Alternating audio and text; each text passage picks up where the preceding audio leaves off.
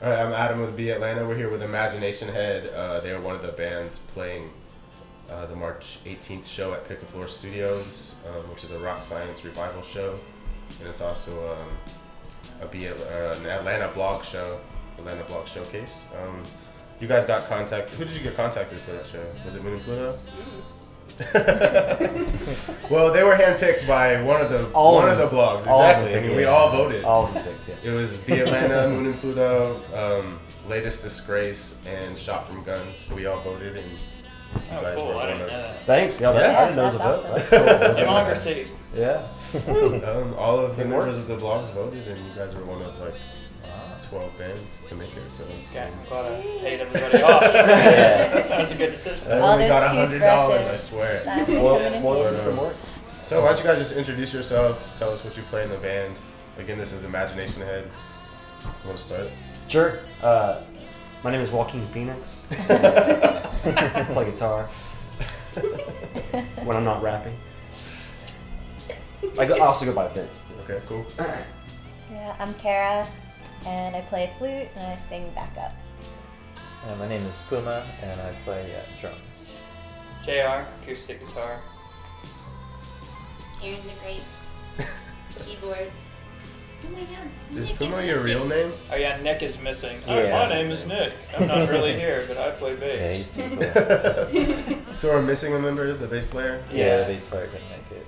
He's out of town. so he's, It's his birthday. ski, ski ball game. Um, yeah, Puma. Uh, well, Puma Kawa is my real name. Cool. Short. We call him Puma Time. Cool time. Or Puma, time. Puma Time red pants. Yeah. He's wearing his red pants. Yeah, I have purple pants on today, but sometimes I wear red. It's a good conversation piece. Puma is like one of the coolest names. It is. I mean, Right, I have, that's why. He likes it when you call him Puma. And they make a good. If you make can a see, good if you can see his shoes, actually, and he pulls it off because he Oh, actually also goodness. wears Pumas as well. That's true. That's pretty cool. Where you named? Yeah. yeah, JR tennis shoes.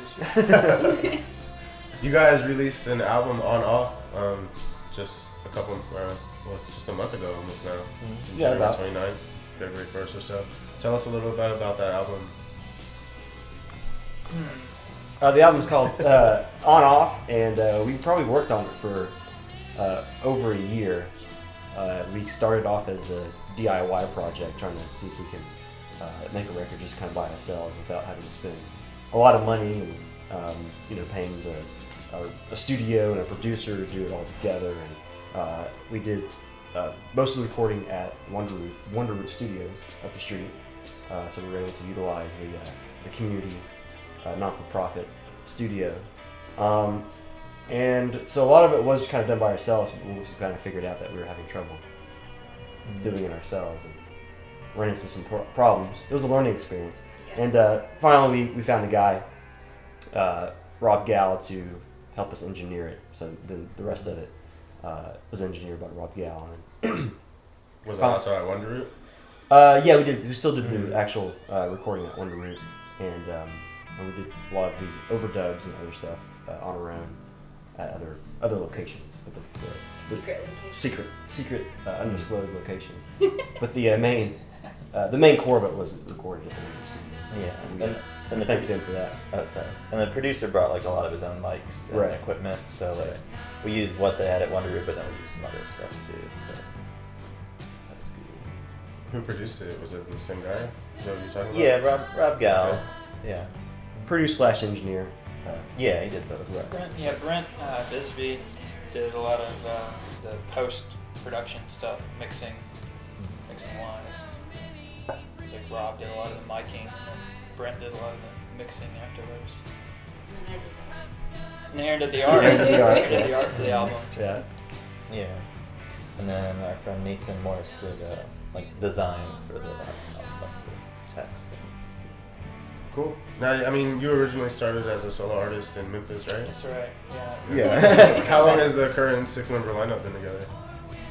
Kara, when did you? I guess it was like maybe like it was early fall. Yeah. Not Of last year? sure. Yeah. Yeah. Of course. And we tried a few. Uh, Aaron had always wanted a uh, another like, girl background or backup singer, or whatever you call it. Um, and no, I've just been playing with a bunch of Lakers. for years, and I finally got my girlfriend. but we tried out a lot of uh, like random people that we'd find through Craigslist or something, and um, like we had one girl that she just would not sing. It was like she had the microphone, and we were like, okay, we're gonna try it, and and she just like Just would just sit there and not do anything. kind of And whispering. we're like, were you uh, like singing on think her mouth that? was moving at one point. Yeah, I sang the whole time. Yeah, it was awesome. I wish you could have heard it. Kara had been in bands and stuff, so she was confident and able to just. I She's- felt I felt the pressure to produce right away. so- Right. Yeah. She wants to rename the band Kara and the Imagination Head, Yeah. but We're thinking kind of- of for it. We're thinking about it. Kara and the rest of these guys. yeah, and just cut out the end, Kara. Some other jokes.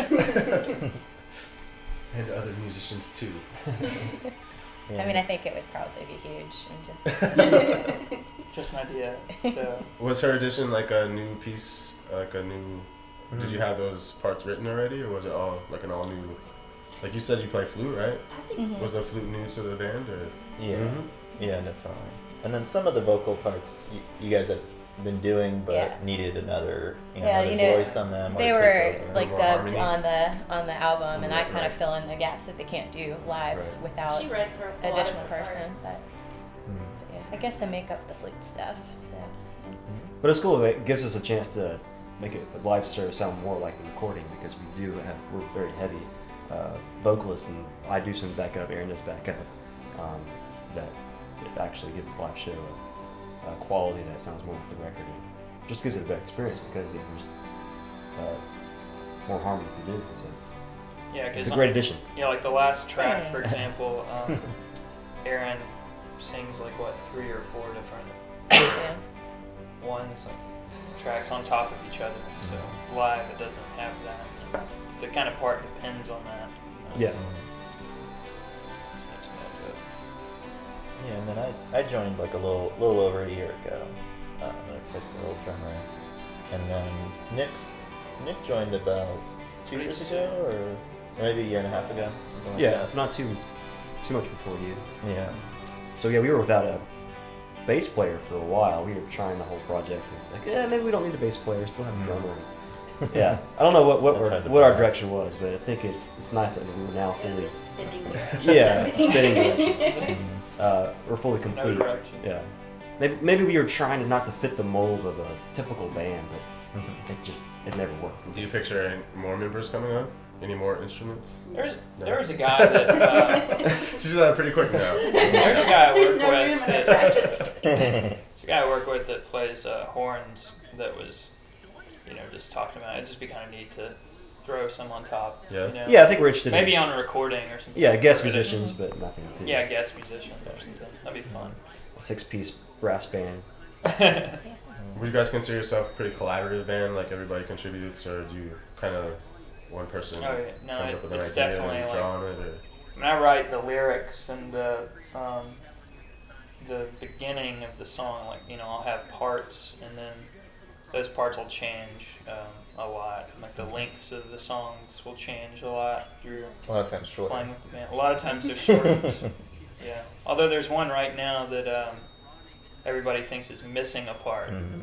and so I'm like at home trying to figure out this imaginary part that you know the ideal, you know, but you know you're trying to make it organic writing Can't process it, too. but it's but it- there. yeah, it's Yeah. just so. But like, yeah, another one of our new songs, Vince came up with like a bridge within like two minutes. Like I I was like, I don't know how to get to this part from this part, and he was like, you know, so I don't really know theory and. Um, you know, I know the basic chords, things like that, but beyond that, I'm, you know, I don't Sounds know keys and things like that. Yeah, so So you guys came on with On Off um, about a month ago. Are you still writing new material after that, or Yeah, we I think we have almost new material for a whole nother record. Wow. So it's Oh uh, yeah. yeah, I think because it, it took uh, a year to make Mhm. this record because we were trying to do it ourselves. Yeah, it's pretty much been uh, a whole new creative process after that. So do we're, you have plans to make another album quicker, or pretty Oh, soon? yeah. that's Uh, yeah, depending. I think depending on finances, I think that's. well, Yeah. yeah. Yeah. We Yeah. still have to work out some kinks on some of the new songs. Yeah. yeah. But it is exciting, like yeah, just um, having a set band and just being able to go in and we've already practiced it and just do it rather than record a little bit here, a month later record a little, you know. Um, we've found this guy who has a studio who um, it'll just be like an all day sort of, you know, maybe like a few weekends that are in a row, just eight hour days, and just be able to knock one out real quick rather Yeah. than you know dragging it out like the last one. But I think it's surprising that the the record on off is still cohesive enough, even though it took uh, you know different songwriting periods and recording at different periods, but it still somehow all kind of came together. and It sounds like a cohesive uh, unit. Well, a Almo- tracks almost cut. We cut a few yeah, we did. We Mm. we trimmed it down quite a bit. We had to, It was like 16, 18 yeah, songs. to make it actually make sense. like okay, this is It's almost a double album. this is getting ridiculous. Mhm. That's cool though. I think people like it when your album has a lot of songs though. I do. You do? Yeah, I think that uh, it could. I, Sometimes people come out with like, you know, seven, eight song albums. You yeah, It's a tease. yeah, yeah. Uh, But um,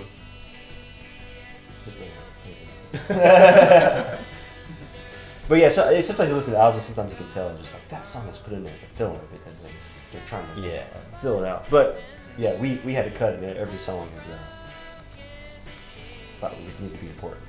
Yeah, and there's, I mean, I felt good about like there was one song that we cut that um, we all really like as a song, but the recording just didn't do it justice. Like you know, the just the sound quality and just there were things about like the sound of the snare that would bug somebody, you know, and it's Yeah. just like just being truthful to. We'll Hmm. redo it. have you played it it the- live? Yeah, Yeah, it's played one it of our- almost every yeah. show, so it's It's like one of our yeah favorite live songs. So. so, Yeah, I was gonna Into ask the you. Sun. Oh yeah. I know So- that one. Yeah, Me too. But we could re-record it for the next one too. Right. It's Yeah. a really good song. But yeah, just you know, being trying to be truthful about like you know, it's like I really want this song to be on this album, but if people have a problem with the way it sounds, I don't want to put it out there, represent it like that. So. What would you tell a person that's never heard your music? Like, um, you were talking about a party. What would you describe your Christmas band time at Sesame Street. yeah, Stomp and Stammer said we sound like uh, Christmas music on acid or. Uh, No, no, no. It's, that, that, that'd be Street nice to say. the Yeah, like, it's just uh, Sesame Street. Sesame Street Christmas Christmas song. songs. Yeah, yeah. Sesame Street Christmas songs. Yeah. Mhm.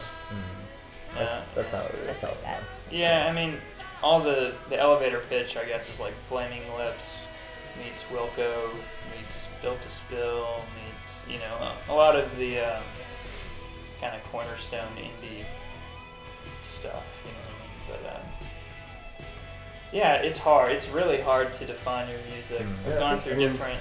Um, I was talking to Chris about it, and I have like a very Beatles kind of feel to it. That's, all right, there's a lot of vocal, Yeah, vocal it's- harmony. Yeah, it's definitely pop. Pop On a is certain uh, focus on the songwriting, but also the, uh, the atmospheric parts as well. Well, we sometimes we get that it's kind of folky psychedelic, even though psychedelic has a lot of connotations from the '60s, but it's not really Yeah. that exactly. But yeah, maybe. The, Well, that's what for like the Kinda guy. mainstream listener, like people who don't listen to indie music. I mean, like if I ever am like playing a track at my work or something, you know, secretly trying to listen to a new mix that someone sent me or something, they're like they think it's like '60s music. Mm. So for mainstream listeners, that's like how they You're right. interpret it, but they like it. So no, I think it's very cool. Like it definitely has a folky feel, psychedelic feel, and, mm, and Beatlesque. Like, mm. I mean, when Belle playing- Sebastian is a band that like I used to love, and like I remember Yeah. asking Nick, who's our bass player, and he said they're his favorite band, and so that makes a lot of sense that like They have a lot of members Sebastian too, don't fans they? in the band. Mm. Belle and Sebastian, isn't there like Oh, yeah. 14 people in there? Uh, A lot. yeah, they've, they've grown, yeah, pictures are I could be wrong. I don't know. I think you're No. right. I there's like ten. Yeah, they have a lot of instruments. No, that's very cool. I mean, I think it's awesome to like you guys have that kind of '60s feel. I mean, if that's how you want to describe it, but very folky, psychedelic, very cool. Yeah. So we just you know want everybody to check it out on iTunes. You know, just look up Imagination Head and It's on Amazon as well, so I'm Just- pretty sure. Yeah, you know, at Amazon. least you can sample songs and get a feel for what it is, and then you'll know Yeah. what we are. Yeah, I mean, you guys have a lot of press out for yourselves too. If you just actually Look 'em up. Google Imagination Head, Right. and you come up on quite a quite a few Wow. different sites reviews Mm-hmm. Of your album on off, which is available on iTunes, like you just said. Right. And you guys said you had a show coming up this Wednesday. Right. Which uh, people may or may not have may or may not have already passed by the time they see this interview. Well, but, that's uh, okay. But then we have the Picaflor show, Yeah, obviously. so March you're 18th. putting on. at Picaflor Studios. Well, we're Yeah, that's gonna be. about- Sounds like an exciting show. Have you guys heard of the other bands before? Curious and Shadhouse No, Rats. I like I liked them though. I, I looked them up. And Yeah, we looked to, at uh. Listen to the music. Yeah, So we're excited really cool. To play with them as well. I think it's gonna be like a pretty eclectic show. That's good. I thought it was good. Yeah. lots of like different, lots of talent from different styles. You know. Yeah, I can definitely see how we like relate to them though. And, yeah, where we're like the Shed House Rats, TV's giving you cancer. That song like feels like that kind of. thing. And then Yeah. the other one, like, they're more like chilled, chilled out, kind of ethereal. Is that word? Yeah. That's a word. Yeah. What is the brain word that's so cool that people throw around? Uh, cerebral. Oh, yeah. Cerebral. Yeah, that's I what like that's that what one. our type of music is cerebral. You're a cerebral. Cerebral, cerebral. Cerebral Thinking Especially rock. man. with those lyrics.